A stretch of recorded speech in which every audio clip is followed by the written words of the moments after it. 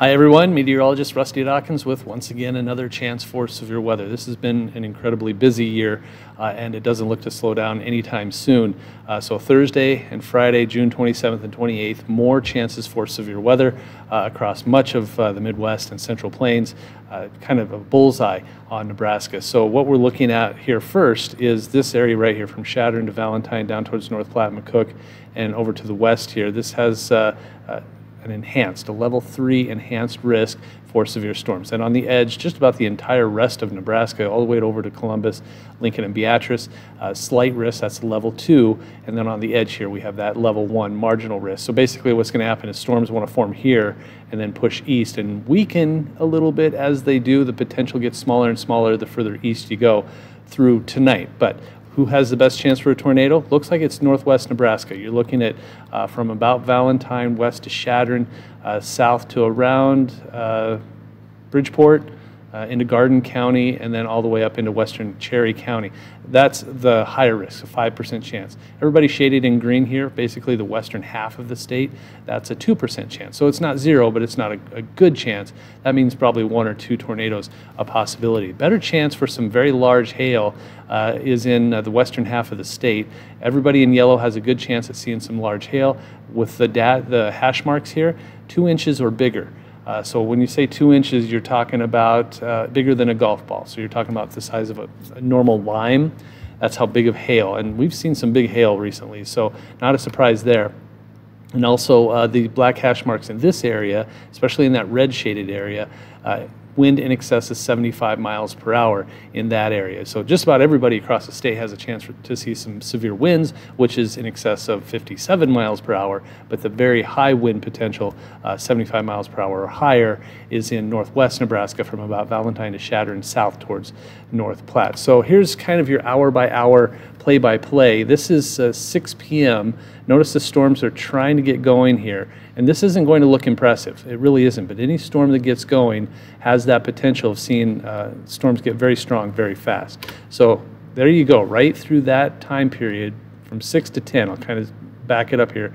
There's 7, there's 8. And again, I said this wasn't going to look impressive, but any of those storms right there could get strong to severe through the 10 p.m. time frame, so through right there. Now you're already by 10 p.m. after sunset, you're starting to move into central Nebraska here. And you got storms up here, storms down here. So basically, anybody in central Nebraska could see some strong to severe storms. Now, by midnight, these try to hang on, and you're looking at uh, right there. That's that storm, storm right there, and then a storm up here. So just about everybody has a chance. Uh, this particular model is saying storms to the south and storms to the north, uh, along and south of Interstate 80 as we get past midnight, tries to make it into Lincoln, but it kind of starts to weaken. So that's kind of why we go from an enhanced risk to a marginal risk from one side of the state to the other because by the time it gets into eastern Nebraska, it's kind of weakening.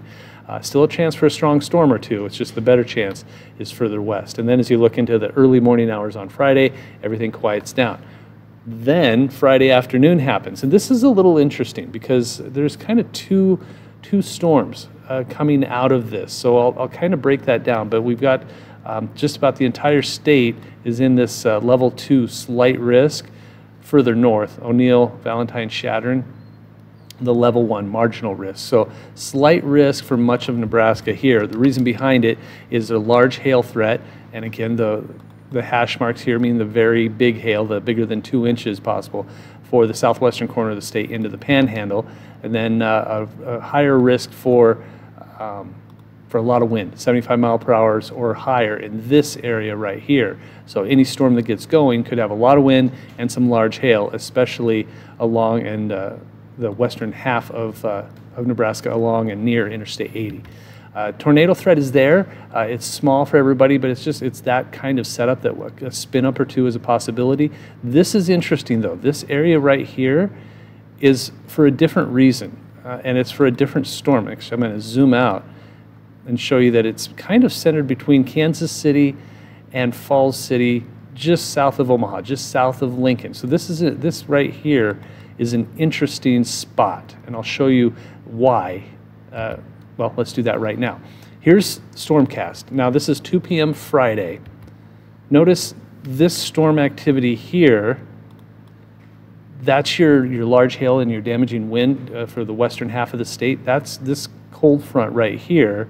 But this right here, that's your tornado threat. So two separate parts, this part and this part.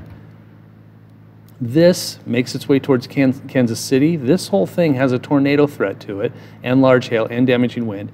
This mainly has your wind and your damaging, uh, your damaging wind and your large hail, two separate storms. This is 8 p.m. Friday. By 10 p.m. Friday, this is basically rolling through the Kansas City area, but some of this tries to get up into southeast Nebraska. Meanwhile, all of this in southwest Nebraska is kind of stalled out.